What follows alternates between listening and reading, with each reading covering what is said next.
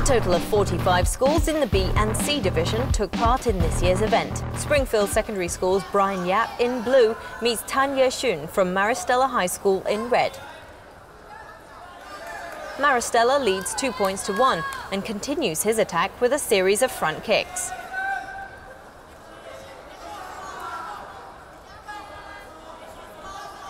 Springfield levels up as he makes an accurate and powerful strike.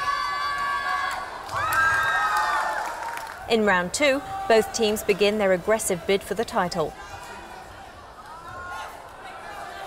But it is Springfield's kick that earns him a point and the title.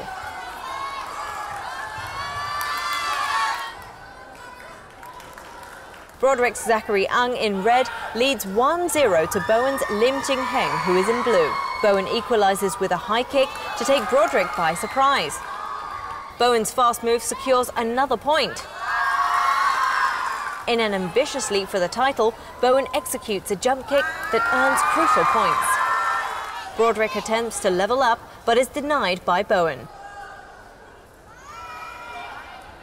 Bowen takes home the title. Bowen Secondary School occupies the champion seats for the B Division boys, while Springfield takes the position for the B Division girls.